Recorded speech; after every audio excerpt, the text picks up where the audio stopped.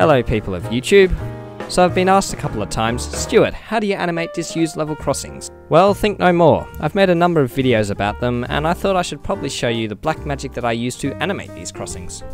So I use Sony Vegas Pro as I do for all my other videos, and it's a pretty straightforward process, but there's a lot of steps to take and you kinda need to have a keen eye for it. So this is basically how I do it, using the closed McClure Street level crossing in Maryborough as an example. I believe this process is called masking, which is basically just superimposing one image over another in Sony Vegas Pro.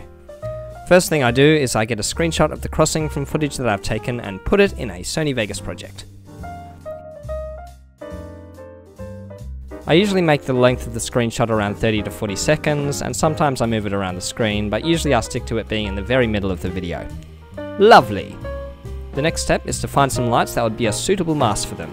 Now I only use my own clips for my level crossing videos, and the ones I usually go for are the Macleay Street level crossing lights in Castlemaine. I use these ones because the footage I've got is bright and the lights are directly facing the camera. Isn't it just magnificent footage I've taken? As crossings have two flashing lights, I'll need two separate video tracks, so I'll create two, making sure they're above the screenshot video track. I'll then drag the video onto one of the video tracks and delete the audio. This will provide the flashing light animation for the left light. I'll also trim the video so that the lights start flashing at around 5 seconds into the clip. Next, it's about masking the flashing lights over the screenshot. So to edit one light, I will click the Video Event FX button.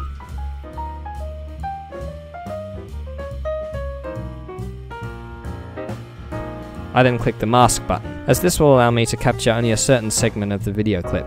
I then get the Circle tool and circle around the light I want superimposed.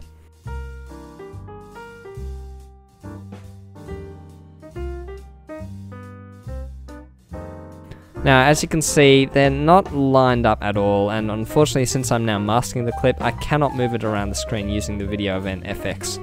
But what I can use is Track Motion, this little button on the left.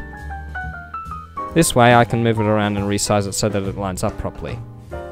I'll make the flashing light sequence around 20 seconds long. I also do a fade in and fade out effect so that it doesn't look too obviously edited. Basically, it's all about playing around with it until it lines up properly.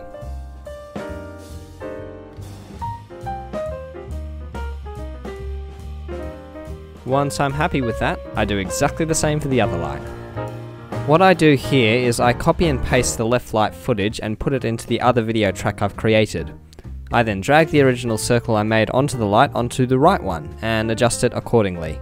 In this case, a bit of the visor is imposed over the light, so I'll make the circle smaller so I don't capture the visor.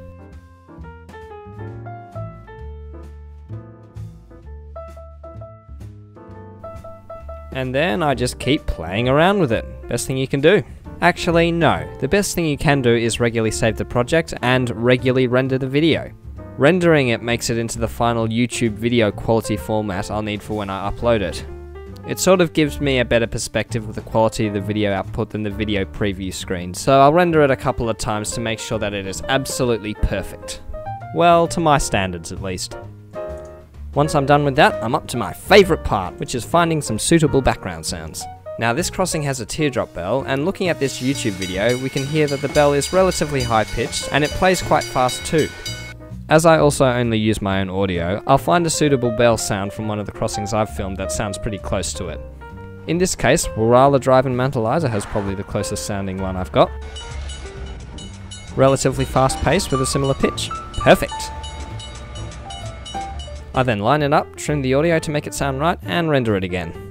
Of course, if we didn't have audio of the crossing to base it off, I would just pick a crossing sound effect that would sound similar to the infrastructure of the crossing.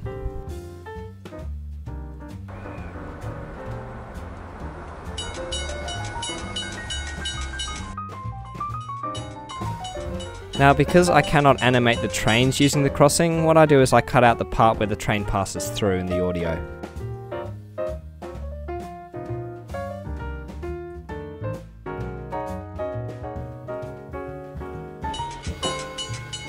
and just a few more adjustments to make the bells sound consistent. What I'm doing here is just putting in an extra fade effect into the audio track to make it sound nice and smooth.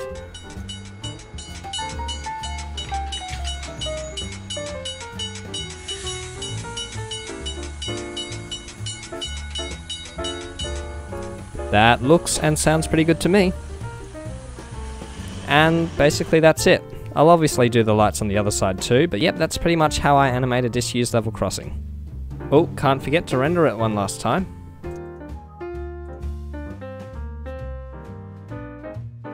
This is the final result, and I hope you guys enjoy it.